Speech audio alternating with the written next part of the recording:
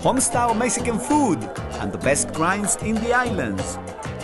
Cholos at the North Shore Marketplace. Live the dream!